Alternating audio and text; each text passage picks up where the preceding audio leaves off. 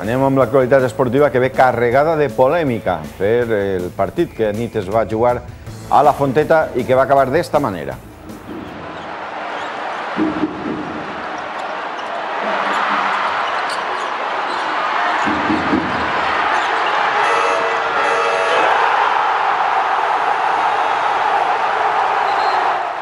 Aquests moments eh, l'afició celebrava la victòria 90-88, però els àrbitres van entendre que la cistella final de Harangodi eh, s'havia obtingut amb la possessió, el temps de possessió, 24 segons esgotats.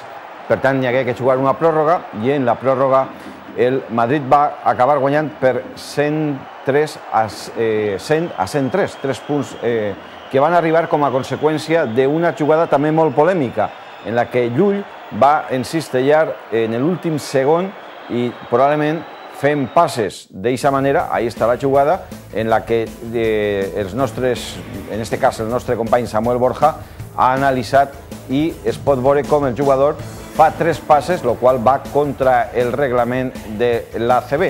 En qualsevol cas, el partit també ha generat una forta polèmica per alineació indeguda del jugador del Real Madrid, Slaughter, com reconeixia l'entrenador del València, Carles Durán, només acabar el partit. El club ha hecho una reclamación y no por la canasta, sino porque es una situación que para mí no es importante, pero Slaughter ha empezado a jugar y no estaba inscrito en el acta. Y el entrenador del Real Madrid ha firmado un acta donde Slaughter no estaba. Esa es la reclamación del club, no la canasta.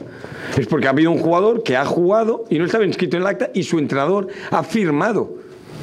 Luego, pueden, mm, supongo que habrá situaciones. Yo simplemente el club ha reclamado eso. Ha habido un jugador que ha jugado sin estar inscrito en el acta. No puede jugar. Ya está.